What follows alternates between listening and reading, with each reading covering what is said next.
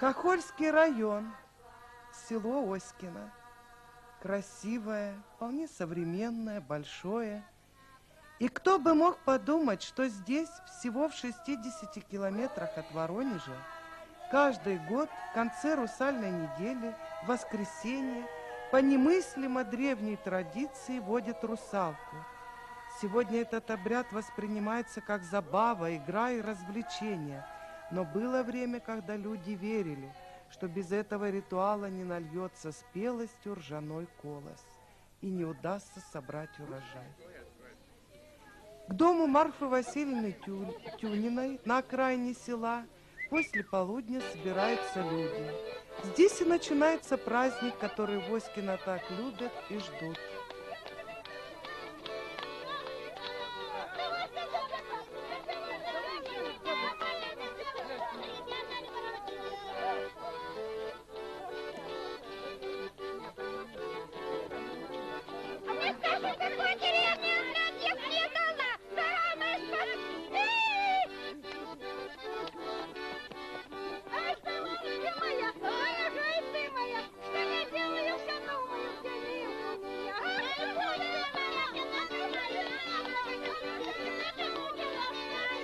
А во дворе в это время полным ходом идут приготовления. Остают конопляное волокно, которое специально хранят для этих целей. Оно пойдет на гриву и хвост русалки. Саму русалку здесь представляют в образе ряженого коня. Старики, опытные русальщики следят за приготовлениями, дают советы. Трое-четверо мужчин накрываются пологом, изображая туловище коня-русалки. В руках переднего русальщика палка с подобием головы, а сзади палка с хвостом.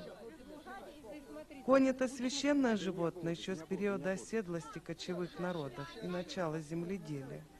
А название русалка сохранилось от древнерусских летних русалей, игрищ – Корень раз, рос, рус у всех европейских народов связан с водой.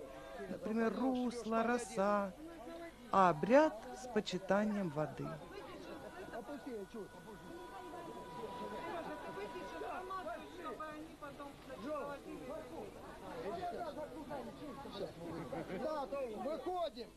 Начинается шествие по селу, обход дворов – в сопровождении ряженых девушек и женщин, а также вожака, ну и, конечно, толпы любопытных. Вожак – цыган. Раньше, в начале века, одевался по-другому, во все белое, холстинное, и имел длинную маску в виде большого –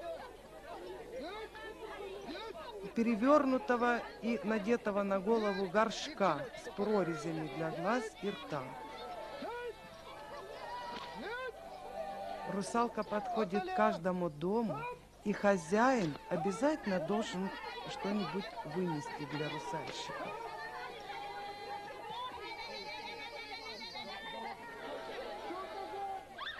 Время изменило традиционный образ русалки. Он стал двойственным – это не только священное животное, но одновременно как бы и нечистая сила. Русалка бодается, брухает, пугает. Такое перерождение произошло не без помощи христианства в пору его распространения на Руси. Языческие боги были косвенно признаны, но объявлены бесами.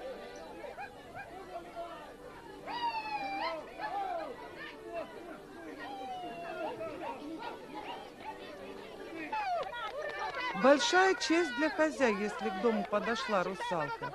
Это сулит в будущем благополучие и изобилие.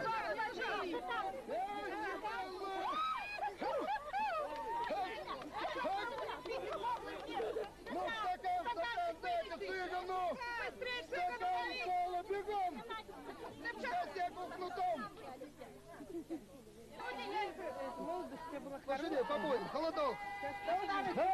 Муж с Ну то что, Зачем ты приехал? Некогда магические ритуалы превратились в обрядовую игру, которая доставляет радость и самим участникам импровизированного театрального действия, и зрителям.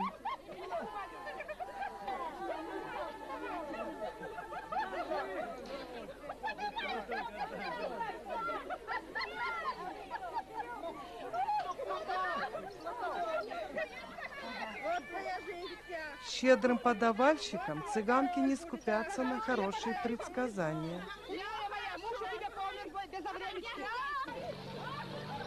Но иногда русальщикам приходится искать добычу и даже гоняться за ней.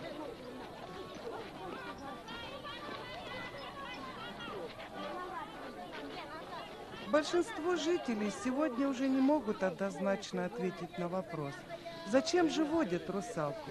Обычно отвечают, просто мы продолжаем обычаи наших предков. А вот что говорит об этом вожак, один из инициаторов действа Сергей Савин. Мы водим, чтобы вообще, мы водим, у нас постоянно такой вот идет вот год, день такой подходит, чтобы год был богатый, чтобы хлеб было много, чтобы людям жилось весело, богато, и сена, и хлеба, чтобы всего было достаточно. Обрядовое поведение ряженых, которые сопровождают коня-русалку, диктуется необходимостью собрать как можно больше денег, выпивки, продуктов. Многие хозяева театрально торгуются, им это очень нравится, тем более, что все село с интересом наблюдает.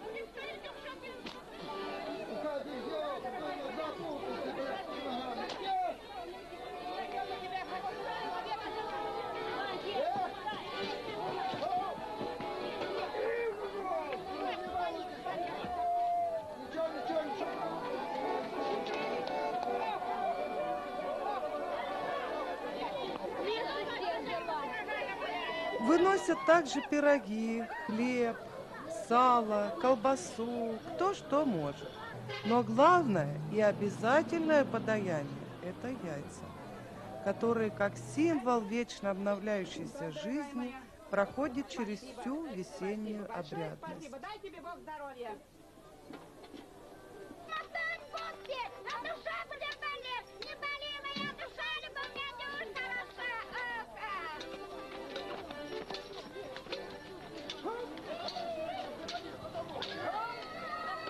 Традиционный костюм панева, рубаха с красным зобом, сорока с лентами давно исчез из обихода и праздничного быта оскинцев. Но ряжение, как обрядовый элемент, нужно сохранить, поэтому девушки одеваются в цыганок. Современность принесла традицию не только изменения в костюме, но и в репертуаре, все чаще вместо традиционной обрядовой песни исполняются страдания и частушки.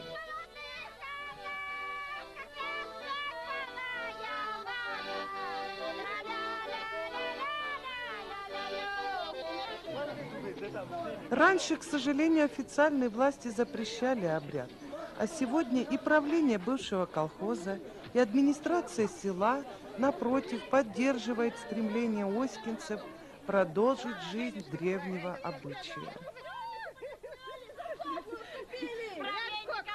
Правление дала нам. На время дала на совсем? Да, да, Зарабатывать сможет. Только самые пожилые женщины могут исполнить обрядовую песню, в которой величают девушек, как и во всех троицких и русальных песнях.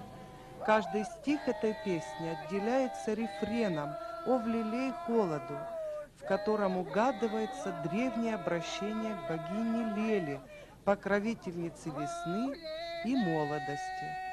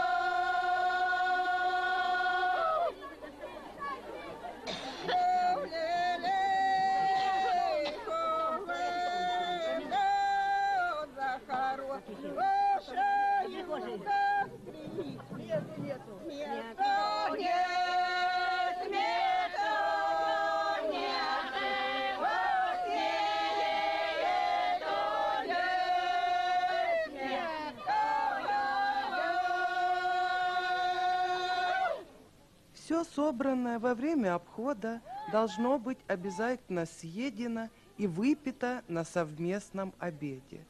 А завершается обряд разламыванием остова русалки, символизирующим ее смерть. Древние люди верили, что сила умирающего духа возродится в колосьях ржи в новом урожае. Но теперь об этом вам скажут только ученые-этнографы.